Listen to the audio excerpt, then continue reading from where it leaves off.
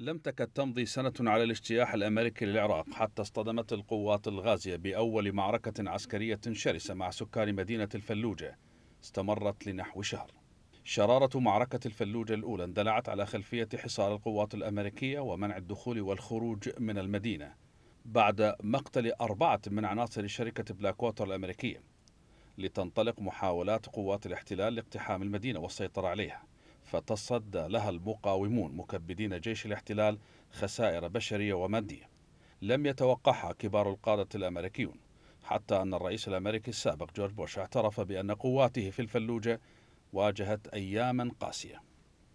استطاع المقاومون في الفلوجة من إحكام سيطرتهم على المدينة ومنع القوات الأمريكية من التوغل إلى داخلها وأحدثوا إرباكا للقوات المهاجمة. وكان هذا باستعمال أسلحة بسيطة.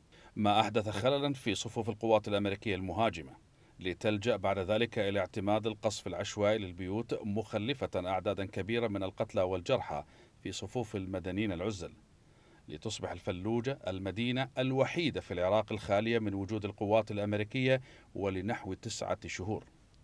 معركة الفلوجة الأولى التي كانت أولى المواجهات الشعبية مع قوات الاحتلال الأمريكية كانت رسالة شعبية واضحة للاحتلال أن الشعب العراقي أو الجزء الأعظم منه يرفض الاحتلال كما كانت نقطة الانطلاق لمشروع المقاومة الوطنية العراقية التي خاضت معارك ضارية في بغداد والموصل وصلاح الدين وديالة وغيرها.